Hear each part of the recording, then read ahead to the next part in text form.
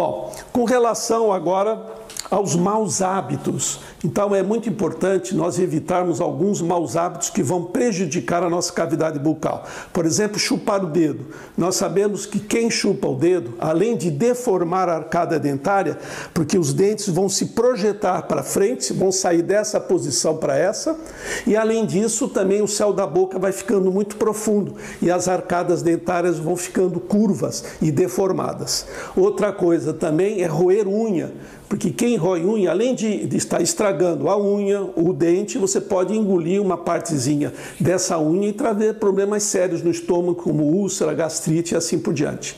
O briquismo, antigamente chamado de bruxismo, que seria ranger os dentes. Então, muito cuidado, geralmente quem range os dentes é que está passando por um problema mais emocional, então saber o porquê está com esse briquismo. Então, os papais observarem principalmente o briquismo noturno, que a criança range os dentes durante a noite. E durante o dia também. Existe o briquismo diurno. Muito bem. Outra coisa também é evitar de dormir com as mãos ou os braços embaixo do travesseiro, porque pode provocar uma deformação na arcada dentária também.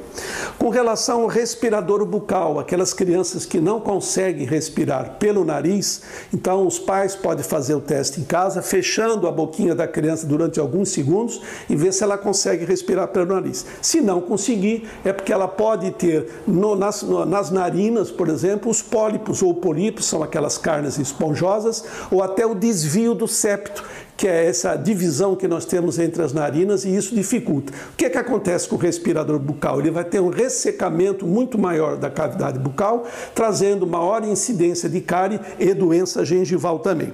Com relação aos freios, nós sabemos que nós temos umas pregas que prendem a língua à arcada dentária, chama-se freio lingual.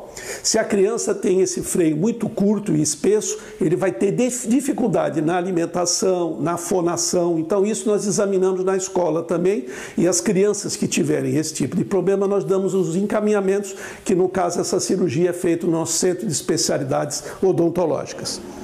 Com relação aos traumas, gente, é muito importante também salientar o seguinte: as crianças podem, andando de skate, de bicicleta, por alguma razão sofrer um acidente, bater com a boca no chão e o dente sair por inteiro da boca.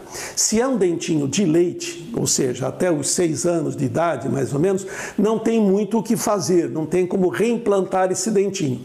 Porém, se for um dente já permanente, que é a partir dos seis anos de idade, então o que, que acontece? Caiu o dentinho, não fazer, não, não limpar esse dente, no máximo passar na água só, não esfrega, porque o dente, quando sai da boca, ele tem uma série de preguinhas, de elásticos, que prendem esse dente no, no osso da face, no, no, na arcada dentária.